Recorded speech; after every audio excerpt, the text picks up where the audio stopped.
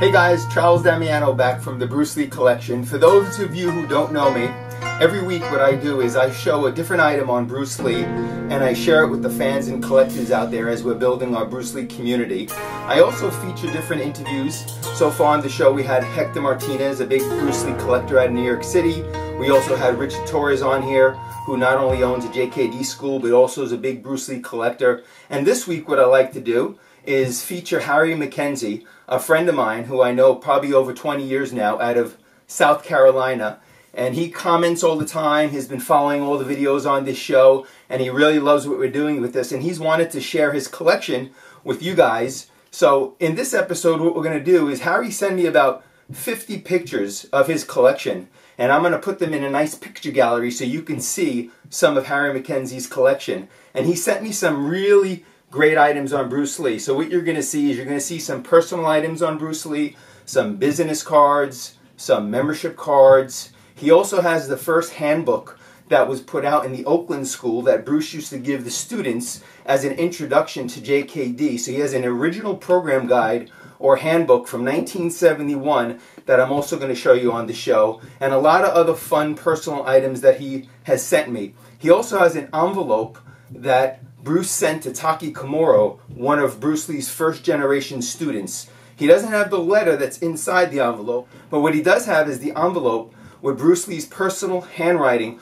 on the envelope that he sent to Taky at the time. So for now, I'm going to show you some of Harry McKenzie's Bruce Lee collection. Enjoy.